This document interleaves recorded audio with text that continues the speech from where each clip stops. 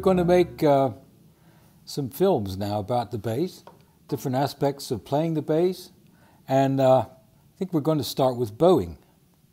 And maybe the best way to start with the bow is to make a visit to Andrew McGill. He lives in the next village to us, and he's one of the finest bow makers in this country. Uh, he does violin, viola, cello bows, and restorations, but he specializes in bass bows. So uh, off we go to Andrew. Here we are. We're in the next village, as I said before. We're in the workshop of Andrew McGill, who's one of the finest bow makers we have in England. He makes violin, viola, and cello bows, but he specializes in double bass, which is very lucky for us because that's what we're going to talk about. Uh, since we're talking about bowing, we may as well talk about what a bow is, how it's made, where it came from. That would be a really great idea. So, Andrew, would you tell us a bit about how you would make a bow? Okay, well, uh, the very best bows, the finest bows, are all made generally of Pernambuco, although there are other woods. Uh, wait, what's Pernambuco? It com- only comes from a particular area of the, is the west coast of Brazil? Brazil. Brazil.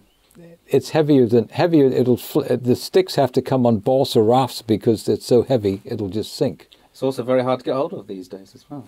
Hmm. Pernambuco is um, has many properties that are ideal for bow making. Um, it could be both rigid, but could be bent because if you heat it, it becomes flexible, so you can uh, mold it into any shape you like.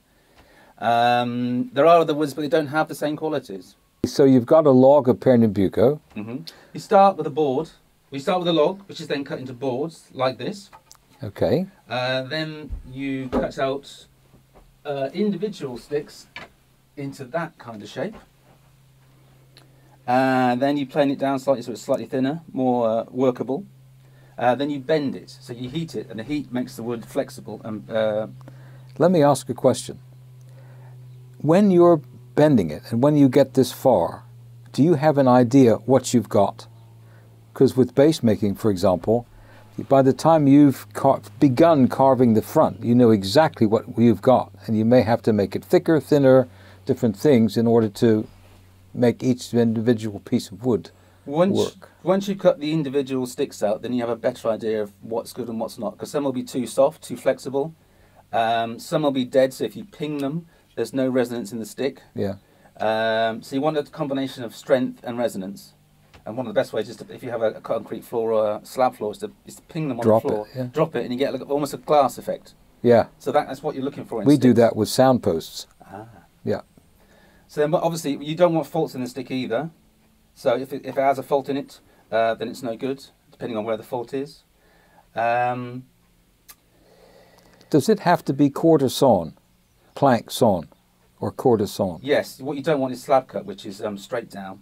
So you could, the angle can't be any greater than 45 degrees. Obviously, when it, basically like that, slightly off, but n- no more than 45 degrees. Okay.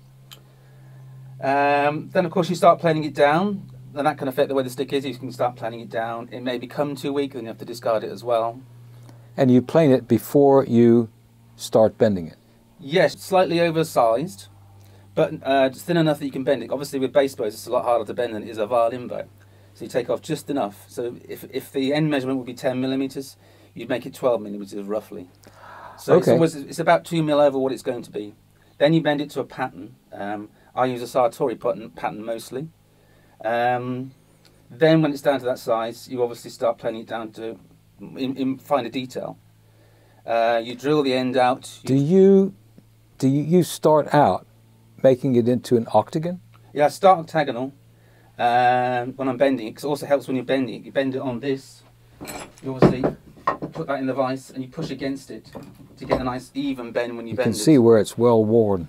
yeah. Yeah.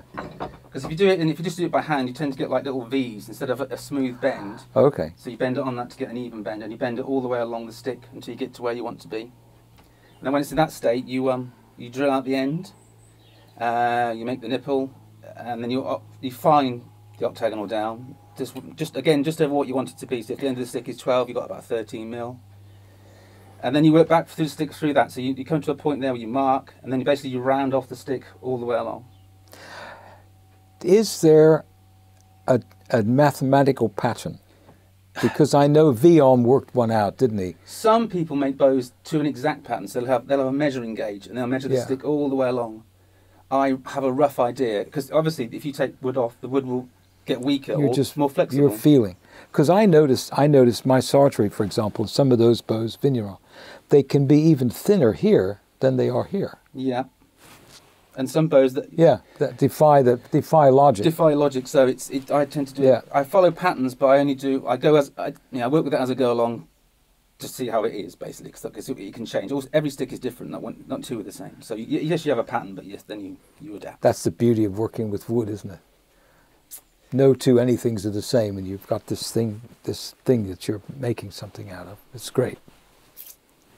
Once you've made the stick, that's that. This is bits. You leave that for now. Have you got one that's slightly bent? I find that's slightly bent. Let me have a look up here. Like that. So you get to that stage really. There we go. Look at that. So that's that's a Okay. rough octagonal. Stick rounded down. So you've started rounding shape. it here. Yeah. I noticed with Sartory, for example, he carries the octagon just beyond the grip. That can vary in different makers Yeah, as well. yeah, yeah. I know. Yeah. And I, I follow a Vigneron pattern as well. I don't make a stick completely round. I do a D section, so the bottom two lines I maintain, unless someone wants a particularly round stick. And the reason for that is to blend. Why would you make an octagonal stick? Because it gives the stick more strength. It gives it structure. Because each each face is, is strength, isn't it? Yeah. So the idea of the Vigneron then is to combine So you still have the round, which can be more round, which is more flexible, more but strength. But when you want the strength, especially around Yeah. that area, it will. If you're doing that, say you're, because obviously if the string's there and you're playing on the string, you have control. But once you're up there, you want to be able to control it. I'm going to talk about exactly that when we start with Bowie. Okay. Then you move on to the head. Um, so this is a finished, nearly a finished one, but I guess you can look at the head anyway. So once you've roughed out the stick, you shape the head. And again, that's a personal thing, but you can follow patterns. That's just one of mine. So once you've worked through the stick up to that point, you then shape the head. That's you can see it's distinctive. It's a McGill. Thank you. Absolutely. This hatchet, the nose there, it's fantastic. Beautiful, isn't it? Of course, tips used to, so the tip, this bit, used to be mainly ivory, but obviously you can't use that now. I use mammoth now. There are other things, there's um, resins, there's um, you can use cattle bone tips, but I use mammoth. Mm. I remember when I was a young fella working in the workshop, we used to have to grind them down, the bone tips. What an amazing smell that is. Not good for you. no, terrible. Because we didn't know what was not good for us in those days. So once you've done the head, you come to the other end of the stick. So first of all, you have to make a frog. I love your grips. I think that's great. Thank you very much. Uh, you start obviously with a block of ebony, and you make a silver ferrule first. So obviously you bend a silver piece of silver round, you solder it to the flat bottom. So obviously you make this. Once you've made this, you, you then go on with making the frog. So what you do basically, you drill a hole through there, and you cut this section out. And then with a knife you scrape back, and you're trying to create that shape. So what you do basically is you fit that onto there. So once you've fitted that, you then work back through the through the piece of ebony. So you create a gap there, which you put a slide into. You then round the heel off and put a, a heel plate on, and then you put the you cut the underside to make the um, this. So eventually it looks like that. So you go from Now, that. does, to doesn't that. the heel plate hide something? Not necessarily. You can you can the slide the, the pearl slide goes un, slightly under that at that end, Uh huh. but it's just it's just. I mean, you don't even have to have one if you don't want one. Okay. Yeah, I know there's some inexpensive bows that don't have them. So you go from that to that basically. Gosh. Lovely. Yeah, that's almost finished, isn't it? Yeah. Or it is finished. Tell, what do you think about balance and weight? You can have heavy sticks with the wrong balance. Again, heavy or light sticks with the wrong balance.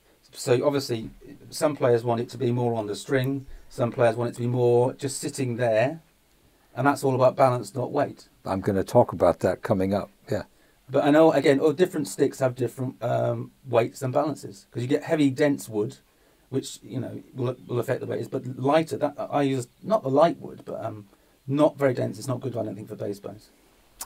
Would you use heavier and more dense wood for, say, violin? Violin, yes, Yeah, and stronger sticks too, because obviously you just take a lot more off. yeah, yeah, yeah. So people, if people think, oh, a bass bow's got to be heavier wood, that's exactly backwards. No, I don't think that. I, Yeah, I, I know. like I agree too. Hmm. And of course, the lapping. Once you've obviously made the frog, and of course you need a button as well on the end, to the adjuster, which makes the frog go backwards and forwards. Once they're all done, then you, You, know. s- you said nipple before, and we should point out that the nipple holds this in place. Yeah. So you've done the stick, you've done the head, you've made the frog, which you've fitted. So you're not working for a specific weight. You're working for the bow that you want. I make do. It work. Again, I Yeah. bass bows I like to make around 135 grams, which I think is about the ideal weight. But some people want 140, some people want 130, but generally it's about 135. Then again, it depends on the stick. If you get a heavy piece of stick, obviously the more you take That's what off, I've always looked for. the more you take weight off Yeah. the stick, the weaker the stick becomes. So it's all about getting the stick to feel right when you're making it. But then once you've made it, you can adjust the weight by this. So if you make a slightly thinner frog or a smaller frog, or you use a three-piece button as per, or a solid button, Yeah. and the lapis that's a that will weigh about one and a half to two grams. If you put all silver on, it's about six six grams, six or seven grams. So obviously that Okay. tips So you're keeping the weight down. it tips the weight that way. Yeah.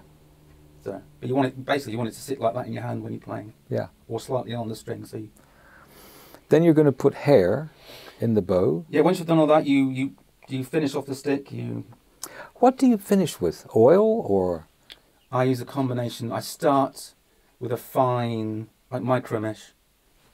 Yeah. Uh, then I oil. So I basically it's kind of not it's not hot oil, but you put oil on it, and if you rub it fast enough, it will heat up, and it almost seals it. It's, yeah, yeah. Then I've got a, uh, I use violin polish, a layer of that or two.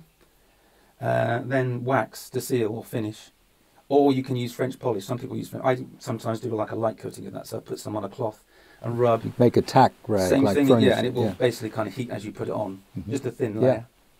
So that's what once once so you've lapped it, you finished it off, then you That that bows. What a pretty color that is. Thank you. it's really nice. Great. What about width of width of the frog and the tip? Uh, again, I use. Uh, I tend to use vigneron patterns as gauges. So that's not quite as wide as Sartory. No, no, I don't like to. I don't because you get obviously the wider the head, to the, I think it can be too too wide a spread. Yeah. So I, I usually about 19 mil is mine is the thickness of my head. And what is your ferrule?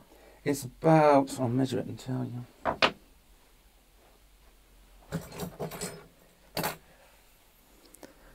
Because you want the hairband to be more or less consistent up the bow, do you?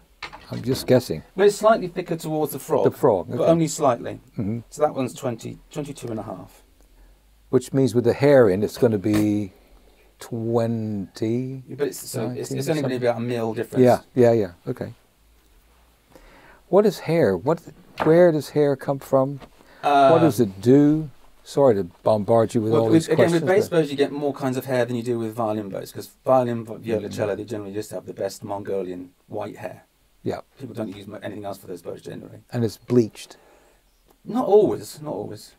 Um, Okay. But with bass hair, you've got different ones. You've got black hair, you've got mixed blonde, and there's variations of that too. You can come in greys and blondes. Should we grab one? I think that's the best hair, to be honest. I love that hair.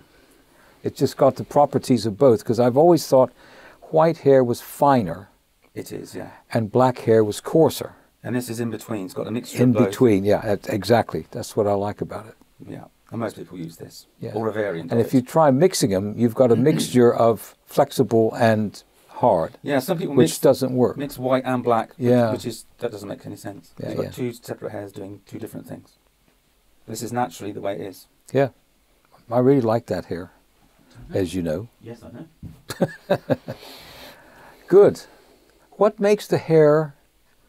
What are the properties of the hair that make it good for stringed instruments? Well, hair has little. You can't obviously under the magnifying glass. You can see it's got little tiny grips on, Yeah, and that's I'm going to talk about that later too. So I thought we'd we'd work that one in. so that's what they're microscopic, teeth, aren't microscopic they? teeth in effect, yes, which Yeah. obviously pull on the string as it comes along, as it goes along. Yeah. And, the, the rosin perks them up, does it? And again, different rosins do different things. So, Aha. like powdery rosin, sticky rosin, again, that can affect what hair you use and how it works in, con- in conjunction with that. So, that affects that. So that means a coarser hair probably could take a stickier-ish rosin.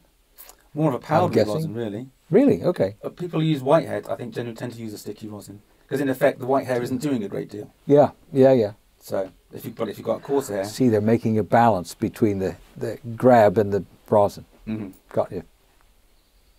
Yeah. Good. Andrew, thank you very much for allowing us in your workshop. it's been a pleasure. great. Okay.